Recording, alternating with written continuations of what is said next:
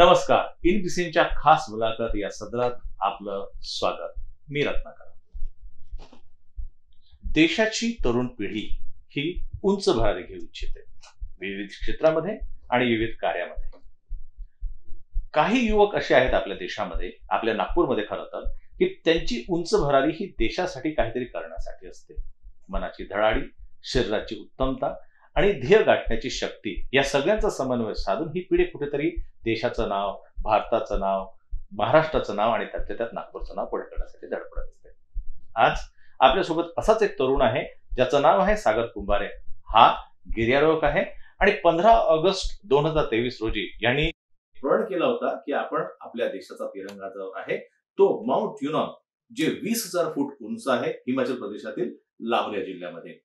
तिथे यांनी आपला एक ट्रॅक निर्माण केला आणि त्या ट्रॅकच्या अनुसार डिसाईड करून त्यांनी तिथे वीस हजार फुटावरती भारताचा तिरंगा जो आहे त्याला त्यांनी तिथे फहरावण्याचा प्रयत्न केला आणि त्यात ते यशस्वी झाले. मी खूप खूप स्वागत करतो सागर तुझं आमच्या या बीसीएनच्या खास मुलाखत या नमस्कार. पहिलाच प्रश्न कसा काय अनुभव होता ह्या सगळ्या प्रसंगाचा? नमस्कार मी गिरारोग सागरचंद्र किशोर कुंभारे नागपूर आम्ही माउंट युनाम जे की वीस हजार फीट वर आहे आणि याचा आम्ही संकल्प केला होता की पूर्ण महाराष्ट्राची टीम मिळून आपण एक माउंट युनाम हे शिखर सर करू. आणि इथे भारताच्या पंधरा ऑगस्ट स्वातंत्र्य दिनी आपण तिथे तिरंगा राहू जसं आपल्या नागपुरात पूर्ण भारत देशात हर घर तिरंगा ही मोहीम चालू होती. तसंच एक माउंटेनियर्समध्ये पण हर शिखर ही तिरंगा मोहीम चालू होती. आणि हे शिखर आम्हाला गाठायचं होतं पंधरा ऑगस्टला. साधारणतः सागर तुम्ही ते शिखर चढायला कधी सुरुवात केली आणि किती वेळ लागला त्याला? आमच्या या मोहिमेचा कालावधी होता टोटल एकूण पाच दिवसाचा जे की आम्ही अकरा ऑगस्ट रोजी रोजी स्टार्ट केलं होतं. आणि पंधरा ऑगस्टला सकाळी पावणे आठ वाजता आमच्या हे पूर्ण मोहीम संपूर्ण झाली. आणि या टीममध्ये आम्ही सहा जण होतो संपूर्ण महाराष्ट्रामधनं. नागपूर मधनं मी सागर कुंभारे अमरावतीतनं सुबोध बरगट मुंबई मधनं प्रवीण मांजरखेडे वर्धेचे प्रवीण शेडके सर आणि गडचिरोलीचे आदर्श मस्की आणि पुळगावचे निसान सोनेकर. तू गिर्यारोग असल्यामुळे आणि याच्या आधी तू बरेचसे गड सर केलेले आहेत जे ज्यांची जी उंची होती ती आपल्या आपल्या हिशोबाने खूप उंच होती. आणि हे तुम्हाला अडचणी तर येतच असतील पण ह्या हा जो माउंट युनॉम होता हा सर करताना काय काय अडचणी आल्या तुम्हाला? आम्हाला माउंट युनम सर करताना जसं आम्ही अकरा ऑगस्टला आमच्या बॉडी एक्लोमेडाईजसाठी आम्ही चौदा हजार फीट पर्यंत जे की माउंट पाताल सो आहे सोलंग लायत होते. आम्ही ते पहिल्या दिवशी क्लाइम केला. म्हणजे आपली बॉडी त्या वेदरशी वातावरणाशी अनुकूल असण्यासाठी एक्लोमेडाईजसाठी.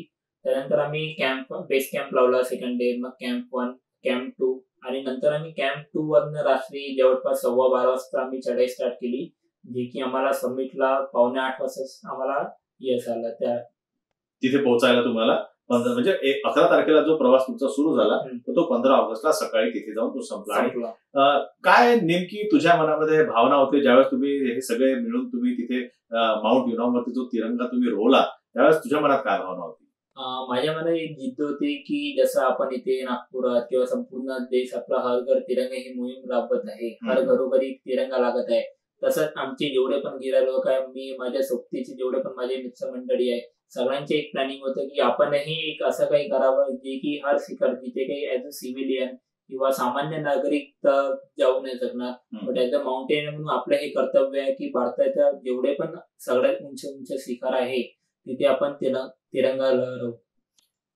सागर ज्यावेळेस तुम्ही चढता त्यावेळेस एक तुमचं वैयक्तिक वजन असतंच असतं. पण त्यासोबत तुम्हाला माहीत असते की मला एक तर साधारणतः सात ते आठ दिवस लागणार आहे.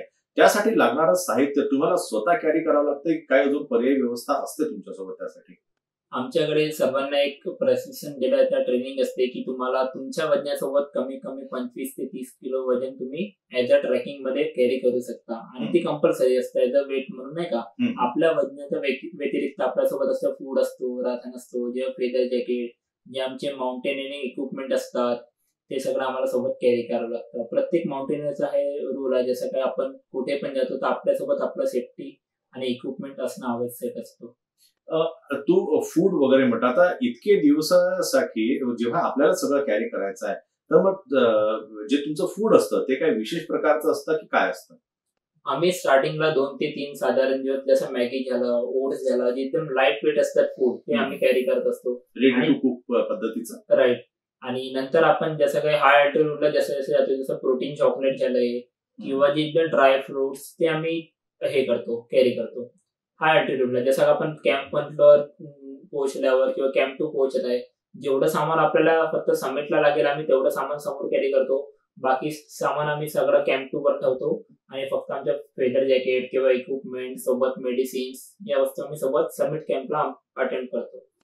हा तुझा जो ही जी मोहीम होती तुझी पंधरा ऑगस्टला माउंट युनॉम वरती तिरंगा रोवण्याची याच्यासाठी तुला काय प्रेरणा मिळाली आणि कुणाकुणाची काय काय मदत झाली? यासाठी मला बीटीपी बीसीएम ग्रुप होतं तसंच माझ्या आई वडिलांचं पूर्ण संपूर्ण योगदान होतं माझ्यासोबत. आणि हे- हे माउंटेनिंग फील्ड माझ्या इंडियन मिलिटरी स्कूलमध्ये असताना स्टार्ट झालं होतं ऍडव्हेंचर जे की सगळ्यात आधी माउंट आबू क्लाइंब केलं मग माउंट पातळसू केलं माउंट ब्लॅक पिक केलं जे की अल्पाईन स्टाईल होतं. त्यानंतर माउंट किली मंजारो केलं जे आफ्रिकेतलं सगळ्यात हायएस्ट पीक होतं. आणि हे माझं पाचवं शिखर होतं जे रेकॉर्डनी होतं जे माउंट युना इथून पुढे तुझे गिर्यारोहक म्हणून काय स्वप्न आहेत? आणि काय असं मोठं स्वप्न आहे का जे तुला सर करायचं आहे नजीकच्या भविष्यामध्ये?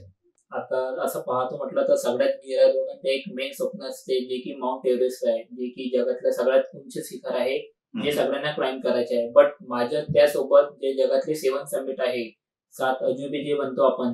ते मला क्लाइंब करायचे आहे. त्याच्यातलं एक माउंट किली मंजारो जे की आमचे कंप्लीट झालं आहे. आणि पुढच्या वर्षी मी माउंट अल्बरससाठी ट्राय करत आहे. हे कुठे आलं? हे रशियाचे सगळ्यात हायएस्ट पीक आहे रशिया आणि युरोपचं. मग तिथे जर आपल्याला जायचं असेल तर त्याच्यासाठी काही परवानग्या वगैरे किंवा काही तांत्रिक अडचणी असतात का त्या हा त्याच्यासाठी जसं गव्हर्नमेंटच्या परमिशन लेटर असतो किंवा बाकी अनेक अडचण येतात त्यांच्या गव्हर्नमेंटचे परमिशन लेटर या सगळ्याला आम्हाला साधारणतः दोन ते तीन महिन्याचा कालावधी लागत असतो.